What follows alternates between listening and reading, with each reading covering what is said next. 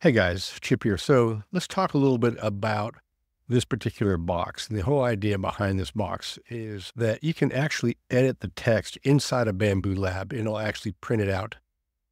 So the first thing I should mention is if you don't want any text, if you just want to create a box, you don't want any text, then just go to this text shape right here and highlight it and then hit delete, hit the delete button and it'll be gone, right? So then you print out a lid without any text. So let's uh, file, Let's go ahead and let's open this back up.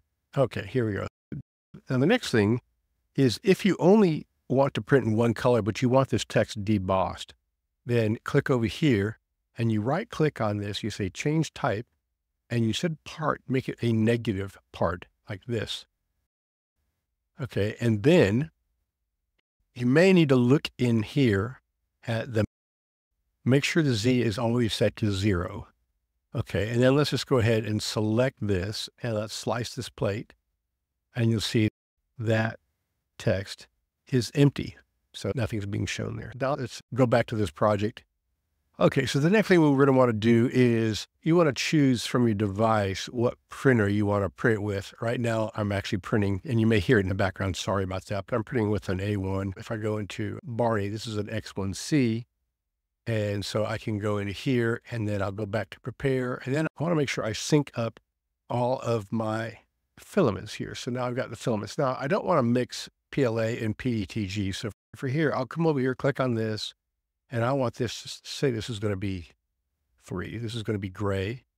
And then the color of the text is going to be PLA also. And by the way, you can print in PETG, but they just need to be the same. You can't have one PETG and one PLA. You probably already know that. But let's just go into this text shape here. And we're going to say two on that. And there we have the text. Now, anytime before you print, you want to select the text. And as I said previously, go in here and make sure this is set to zero. And the reason why that is, is because you're going to want to edit this text, right? So you can come over here, you can click on this and you can say edit text, right? So let's go ahead and we're going to change the font to something like this and change the text. You can use all caps or not. Leather craft. Okay, I'll change the size of it instead of 16, I'll make it 20. And this needs to stay 290.8 and, and everything else is the same, right? So then you come over here and click on this. And so notice that now our Z is changed because anytime we edit the text with this button, the Z will change. So we can go back here, hit zero, and now we're just good to go. We slice the plate now and you'll see there it is, right? So there's the black. So we have three layers, three layers of black. One, two, three. Now notice there is no purge tower there's no room for a purge tower in this. So that's the reason why there's, and it, it doesn't really matter. I, I haven't had any issues with it. it. Starts with that black color and prints that first. It works great. Okay, so next let's talk about what if we want to add another line of text? How does that happen? So that's a little complicated.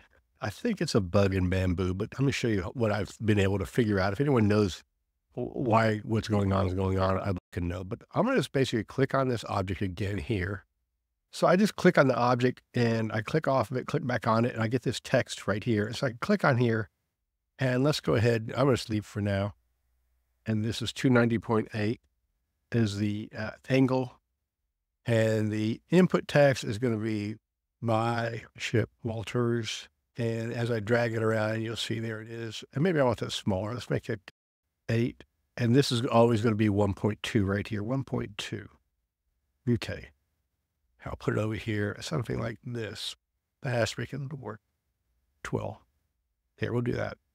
I'm going to select it right there. And then with it still highlighted, I'll hit the number two because I want it to be that color. So here's our text. Now, first things first is this is at zero also. But if we look at it, we're going to see it's actually sticking out here. And so is this one. Both of them are. So I'm not sure what's going on there, but that's the bug I'm talking about. So let's figure out how we can fix that.